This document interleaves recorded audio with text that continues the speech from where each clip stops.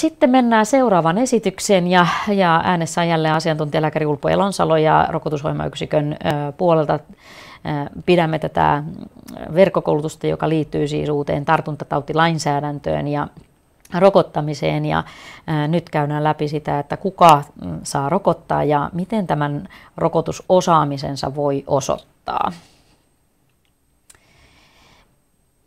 Kertaamme pikkasen tätä, että meillä on tulossa siis sosiaali- ja terveysministeriön asetusrokotuksista tämä uusi asetus samalla matkaa, kun, kun uusi tartuntatautilakikin tulee voimaan, niin on tarkoitus, että tämä uusi asetus tulee myös voimaan samaan aikaan. Ja tämä kuka saa rokottaa määritetään nyt sitten asetuksessa aivan samalla tavalla kuin se on ennenkin asetuksessa määritetty, mutta vain eri asetuksen eri kohdassa. Ja tota, samalla kun siellä määritetään sitä, että kuka saa rokottaa, niin sitä määritystä hivenen tarkennetaan.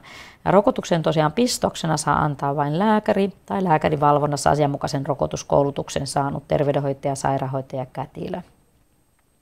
Ja vaikka täällä asetuksessa ei niin erikseen mainita sitä, niin myös sairaanhoitajan laillistettu ensihoitaja, joka on asianmukaisesti koulutettu, niin saa antaa rokotuksia. Tätä nimikettä ei mainita siellä pykälätekstissä, koska se, sitä ei ole niin rekisteröity tämmöiseksi viralliseksi ammattinimikkeeksi. No mitä tuo ö, tarkoittaa sitten tuo lääkärin valvonnassa? Termi siellä asetuksessa, että, että sehän ei tarkoittanut välttämättä sitä, että lääkärin tarvitsisi konkreettisesti olla läsnä siinä rokotushetkellä, mutta lääkäri on siis vastuussa siitä, että sitä rokotustoimintaa kokonaisuudessaan toteutetaan asianmukaiseksi ja yhtenä osana siinä siis on tämä, että rokottaja on saanut sen asianmukaisen koulutuksen siihen rokottamiseen, rokotteen ammattitaito on ajan tasalla ja käytettävissä on ajanmukainen välineistö. Ja tässä mä viittaankin taas näin päin sit tässä, että kannattaa katsoa siis erillinen esitys tästä lääkärin roolista ja rokotustoiminnan asianmukaisesta ja laadukasta järjestämisestä, jos esimerkiksi nyt katsoo, katsoo näitä tai etsii näitä asioita sieltä jälkikäteen tämän verkkolähetyksen jälkeen, niin, niin tallenteinahan nämä nyt sitten löytyvät siellä meidän sivustollamme. Ja ylipäätänsä kaikkea tämmöistä tarkentamista tehdään THL verkkosivuille muun muassa sitten tätä rokotteja ja rokotteen ammattitaitoja ja näyttöjä koskeviin teksteihin. No, koulutusasioihin liittyen, niin, niin on hyvä muistaa se, että työnantaja toki on viime kädessä vastuussa siitä, että kaikilla rokotustoimintaan osallistuvilla on omaa tehtävän kuvansa vastaava riittävä ammattitaito. Ja tämäkin on lainsäädännössä määritetty, että siellä määritetään sekä työntekijän että työnantajan vastuut tähän koulutukseen liittyen terveydenhuollon ammattihenkilöiden tota, lainsäädännössä, joka säätää terveydenhuollon ammattihenkilöiden toimintaa, eli siellä on se laki terveydenhuollon ammattihenkilöistä ja sitten se terveydenhuoltolaki, joissa puhutaan koulutukseen liittyvistä velvollisuuksista ja asioista. Ja siellä oikeastaan se sisältö, no olen sen tähän diaan tiivistänyt näin, että, että työntekijä, näissä kahdessa laissa, niin että työntekijällä on siis se velvolli, työntekijä itse on niin velvollinen ylläpitämään ja kehittämään sitä kehittämään oman työnsä edellyttämiä tietoja ja taitoja, Työnantajalla puolestaan on velvollisuus seurata työntekijöiden ammatillista tämmöistä kehittymistä ja luoda sitten niitä edellytyksiä sille, että se työntekijä voi osallistua tarvittavaan ammatilliseen täydennyskoulutukseen tai muilla ammatillisen kehittymisen menetelmillä tämä työntekijä voi kehittää niitä tietoja ja taitoja, jotta hän voi sitten harjoittaa sitä ammattiaan asianmukaisesti ja turvallisesti. jos sitten ajattelee sitä, että, että mitä, mi, miten tätä vielä vähän lisää voisi määritellä, niin esimerkiksi niin, että perehdytyksen ja ammattitaidon ylläpitämiseen tarvittava täydennyskoulutus, niin se tulee suhteuttaa siihen, mitä työntekijä jo hallitsee, mitä, jos ajatellaan rokottamista, niin että mitä rokotuksia hänen toimipisteensä annetaan ja kuinka laajasta toiminnasta on kyse. Että nämä kaikki asiat löytyy sieltä lainsäädännöstä. No se rokottajan ammattitaito on siis määritettynä ja, ja kuvattuna, että mitä se rokottajan tulee osata ja hallita, niin se on siellä THL-rokottaminen sivustolla. Ja kun siellä määritetään tätä ammattitaitoa, mitä pitää osata ja hallita, niin samalla määritetään se, mitä se asianmukaisen koulutuksen tulee sisältää ja minkälaista osaamista sillä koulutuksella tulisi niin kuin varmistaa. Ja muistutan siitä, että se rokotusosaaminen on todella laaja käsite, että tässähän ei mikään pelkkä pistososaaminen niin kuin riitä. Ja rokottaminen ja ruotsinkielisellä Vaksina sivustolla meillä on siis se käytännön ohjeet osio, jossa on rokottaminen askel, askeleelta osio, jossa on sitten näitä rokottajia koskevia sivuja. Ja meillä on myös siellä, sitä kautta sieltä löytyy tämmöinen rokotusosaamisen koulutuskokonaisuus alisivu ja siellä on erillinen esitys ihan vielä tarkempi kaikesta siitä sisällöstä, mitä rokottajan tulee osata, että, että löytyy sekä videona että dia-esityksenä, dia että sen voi sieltä myös katsoa läpi verkkosivutekstien lisäksi, jos haluaa. Mitä se asianmukainen rokotuskoulutus sitten on ja miten sitä voisi niin kuvata ja minkälaista minkälaista tämä rokotusosaamisen koulutus täällä Suomen maassa on ollut ja mitä se nyt on. Tämä aikaisemmin tämä rokotusosaamiseen liittyvä koulutus, niin, niin siellä on taustalla tietysti tämmöiset ihan historialliset syyt, ammattiryhmien erilaiset tehtävänkuvat ja, ja ja tämmöiset asiat ja, ja myös se ammattikorkeakoulun niin kuin autonomia siinä ro, opetuksen suunnittelussa ja sisällöissä ja, ja opetuksen te, niin kuin, tuottamisessa ja tekemisessä.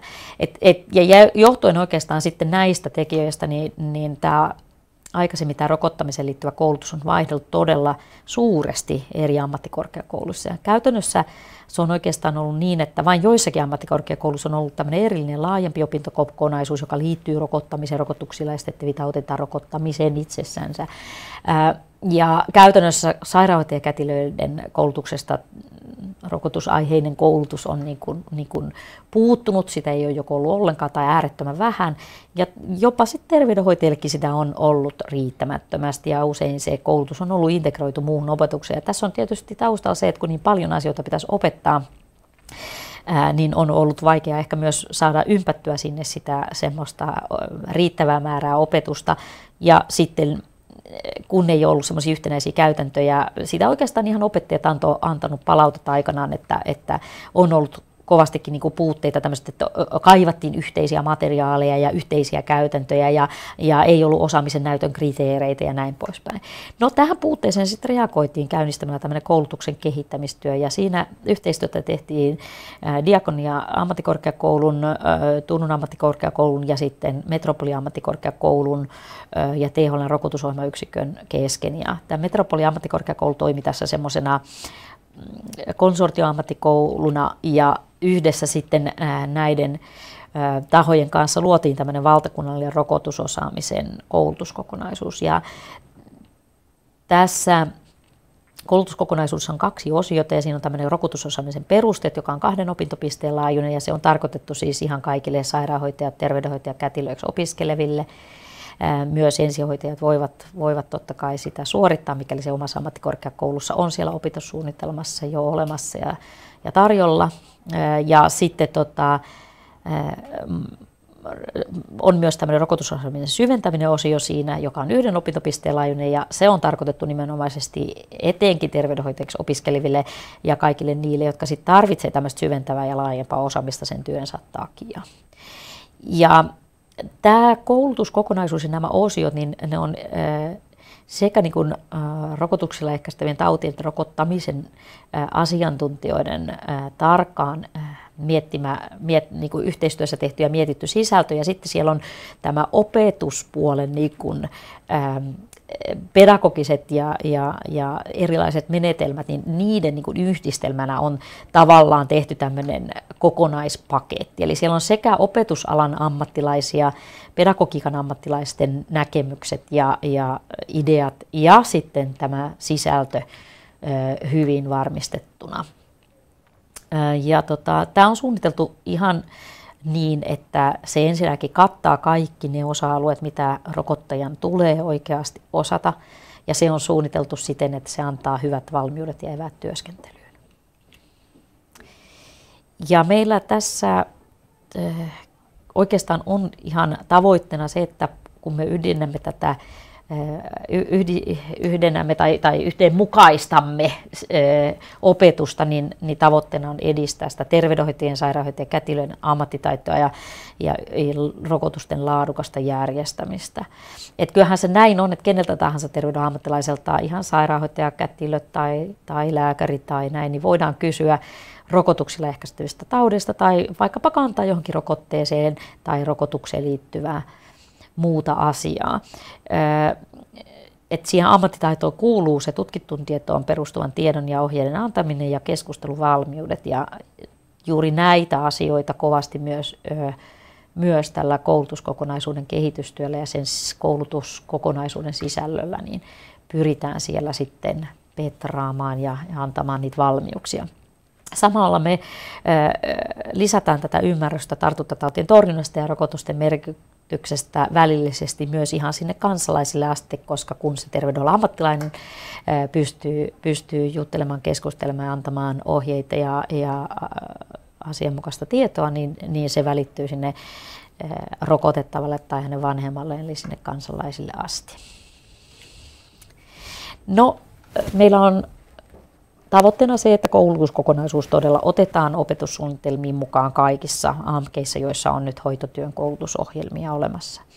Ja tästä koulutuskokonaisuudesta on myös tekeillä ruotsinkielinen versio. Tämä on ihan, kyllä aikataulu vielä vähän auki, mutta tämä on ihan opiskelijoiden totta kai yhdenvertaisuusasia ja, ja me halutaan, että myös ruotsinkielisillä opiskelijoilla on mahdollisuus tähän, tähän tota, rokotusosaamisen niin kuin koulutuskokonaisuuteen ihan samalla tavalla kuin suomenkielisillä opiskelijoilla. Nyt tämä koulutuskokonaisuus on siis siellä implementointivaiheessa siellä tutkintojohtajuuskoulutuksessa, mutta nyt tästä keväästä lähtien niin se on myös täydennyskoulutustarjonnassa ja täydennyskoulutuspuolella se on siis täällä Metropolia ja Turun ammattikorkeakoulussa ja Diakonia ammattikorkeakoulussa. Lisätietoa tästä koulutuskokonaisuudesta on siis meidän sivustolla myös siellä olevassa esitteessä ja totta kai siitä lisätietoa saa eteenkin näistä kehitystyössä mukana olleista ammattikorkeakouluista ja siellä, siellä heidän niin yhteyshenkilöistä. Ja nämä yhteyshenkilöt muun muassa löytyy tästä rokotusosaamisen koulutuskokonaisuuden esitteestä, joka sitten löytyi rokottaminen sivustolta muun muassa. Ja tämä Valtakunnallinen rokotusohjelmien koulutuskokonaisuus ö, ö, käyttöönotto alkoi syksyllä 2015 ja nämä opintojaksot on tämmöisiä verkkopohjaisia. Se on tällä hetkellä käytössä lähes kaikissa suomenkielisissä. Siellä taisi nyt olla kolme ammattikorkeakoulu tällä hetkellä, joissa se ei ole.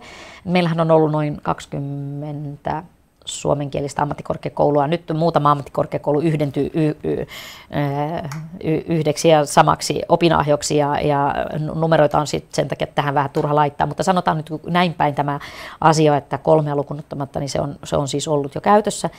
Sekä opettajat että opiskelijat ovat antaneet siitä erittäin hyvää palautetta. Se on, se on ollut tykätty kokonaisuus, erittäin tarpeelliseksi koettu ja, ja, ja opetusmetodeja on pidetty kohtuullisen innostavina siellä, että, että tota, on tykätty myös siitä, siitä kaikkinensa. Ja mm, etenkin sairaanhoitajaopiskelijat on, on olleet todella, todella niin kuin tyytyväisiä, että myös heillä on mahdollisuus käydä tätä rokotteisiin liittyvää ja saada tätä rokotteisiin liittyvää ja rokottamiseen liittyvää koulutusta.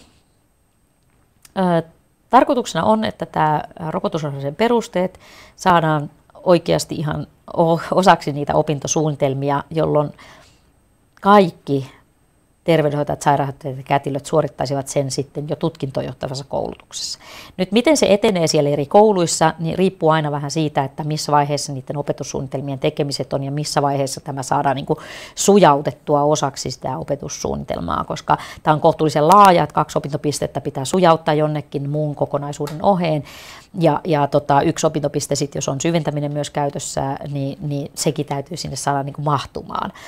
Mutta tota, nyt meillä on siis sellainen tilanne, että osassa ammattikorkeakouluja opetetaan vaikkapa sairaanhoitajia, osassa terveydenhoitajia, osassa kaikkia näitä ammattiryhmiä. Ja sitten tota, Tämä voi olla nyt jo siis niin sanotusti opetussuunnitelmassa, joka se on niin kuin pakollisena silloin tavallaan siellä suoritettavana. Ja sitten se voi myös olla joillakin näillä, näillä tota, opiskelijaryhmillä, eli se voi olla valinnaisissa opinnoissa sen lisäksi esimerkiksi.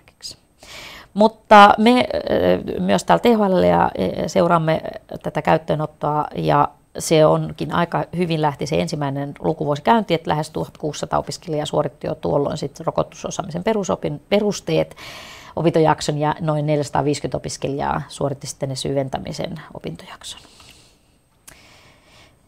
Ja loppuosa tästä mun esitystä, esityksestä käsitteleekin sitten, kun on nyt esitetty vähän kerrottu teille, että mitä siellä koulutuksen kehityksen työn tuoksinassa on tuotettu tuonne ammattikorkeakoulutarjontaan sinne opetuspuolelle käytettäväksi, niin, niin loppuosa esityksestä käsitellään, käsittelee sitten tätä enemmän tätä, että miten sitä osaamista voi osoittaa ja millä voi niin näytön, näyt, mitä tarvitaan näytöksi.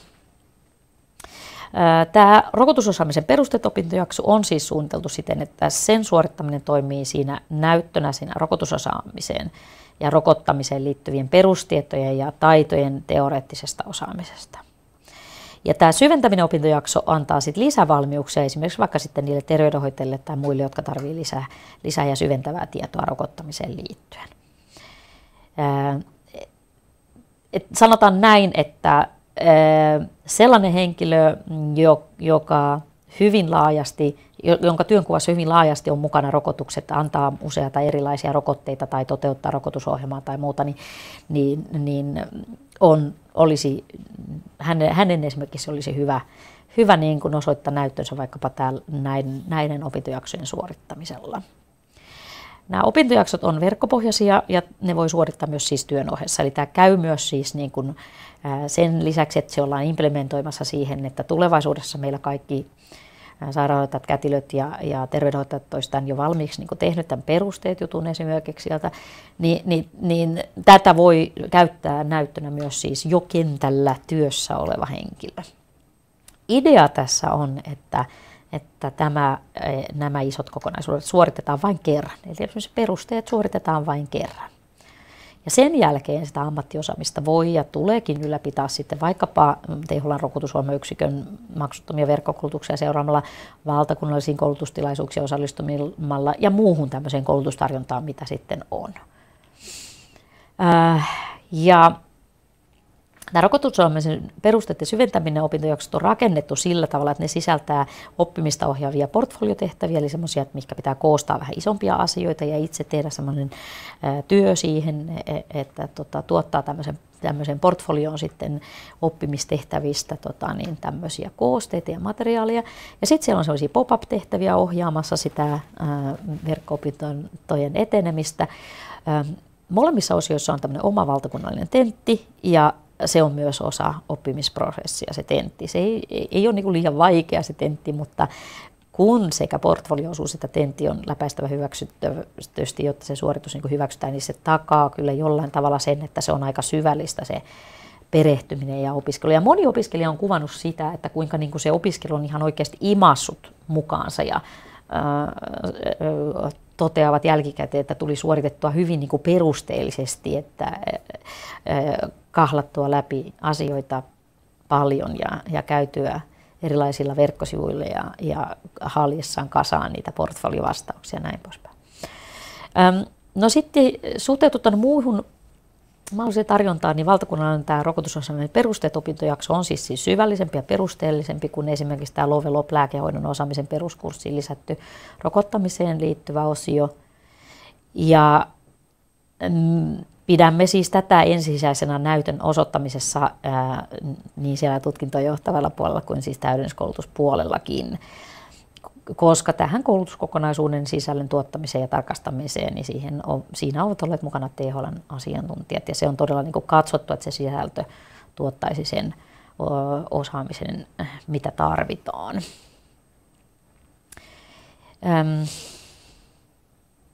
vielä tuosta tämmöisestä, kun puhuin siitä, että tämä suoritetaan vain kerran ja sen jälkeen ammattitaito ylläpidetään muulla tavoin, niin, niin sen verran tästä Lovelop-tentistä tai Lovelop-lääkehoidon osaamisen peruskurssista, että sinällänsä hyvä kokonaisuus ja paljon tärkeitä asioita ja näin poispäin, mutta sitten eri ammattiryhmillä miettiessä sitä, niin, niin, tai mikä tapaan se on niin tehty, niin tavallaan me, me emme ainakaan vaadi emmekä, emmekä katso tarpeelliseksi sellaista, että jatkuvasti, toistuvasti, säännönmukaisin välein suoritettaisiin vaikka joku tietty se perusosaaminen. Että se ei ole semmoista ihan tehokasta. Että perusasiat opiskellaan kunnolla ja kerran sellaiset asiat, jotka ei sanottavasti muutu ja sen jälkeen sitä ammattitaitoa ylläpidetään muilla tavoilla. Että tämä on semmoista, se on niin tehokasta ja, ja ja hyvää koulutuskäytäntöä, että, että näin tapahtuisi. Äh, no sitten mm, näyttö muusta. Eli kun, kun sillä rokottajalla sit sen teoreettisen osaamisen ja tietotaidon ja äh, ohjauskykyjen ja muiden tällaisten asioiden ja, ja asioiden lisäksi niin, kun, niin täytyy olla myös se käytännön rokotustaidot.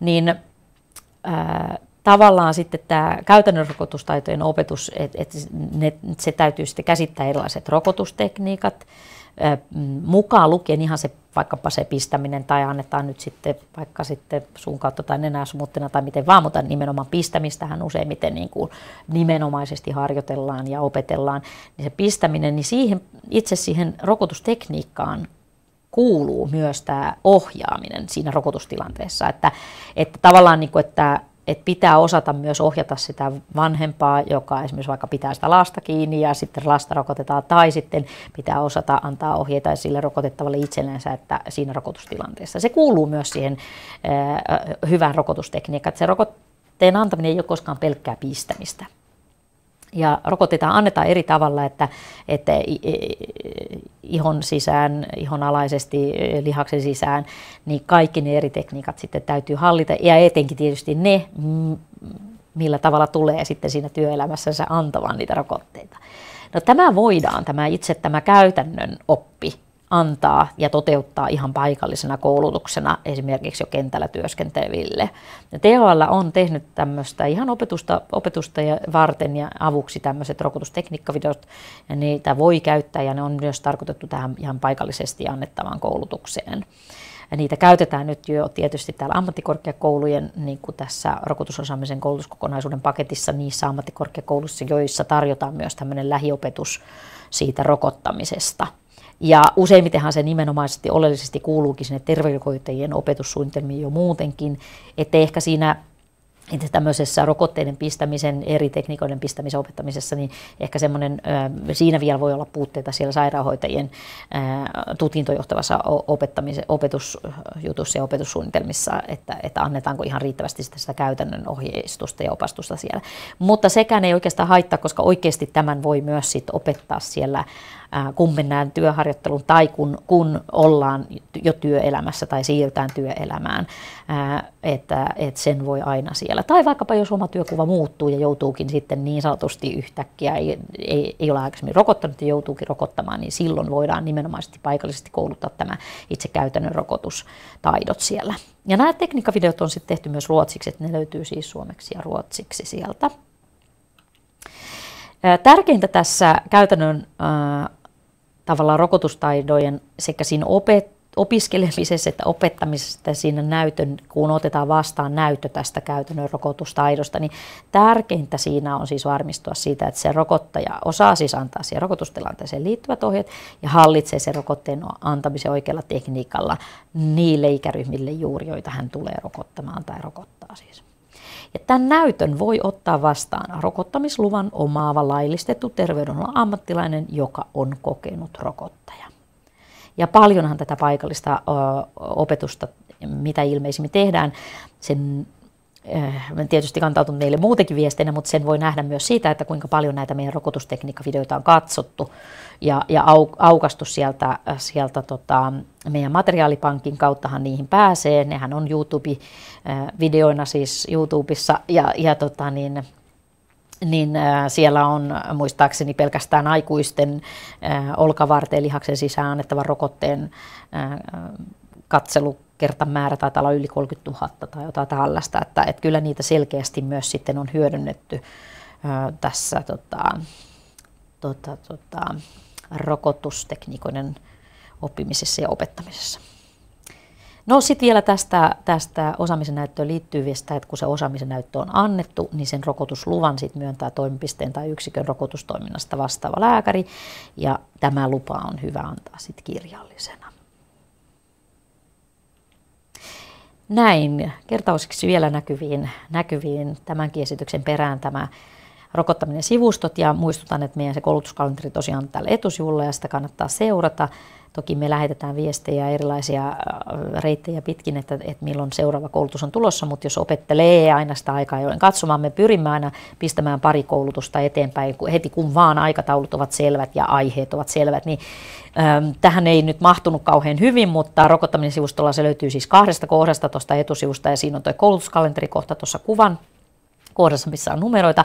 Ja sitten tästä oikeasta reunasta ajankohtaista palstan alapuolelta löytyy vielä erillisesti myös se koulutuskalenterikohta, mistä pääsee sitten niihin aina siihen kuhunkin, kunkin kertaiseen ajankohtaiseen tota niin, ähm, äh, verkkokoulutustapahtumaan. Ja sen lisäksi siitä pääsee myös sitten tähän materiaaliin näistä materiaalipankki, jossa on kaikki nämä meidän rokotusaiheiset koulutusjutut, jotka vaan on nyt videoksi asti ja, ja mui, tuota, esityksiksi tallennettuna siellä.